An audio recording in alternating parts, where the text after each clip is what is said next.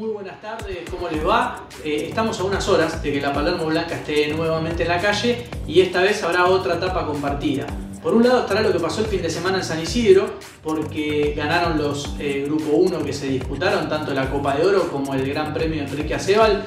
Treasure Island y eh, Edict, dos ejemplares que de alguna forma en sus tabuladas anticipaban que, que llegarían a ese triunfo y lo consiguieron, como les dije el sábado, en el hipódromo de San Isidro. Pero por supuesto que también tiene un lugar en nuestra etapa lo que va a ser la gran jornada del sábado en Palermo, con el derby como, como estandarte y por supuesto como sus dos laderos el Gran Premio Palermo y el Gran Premio Maipú.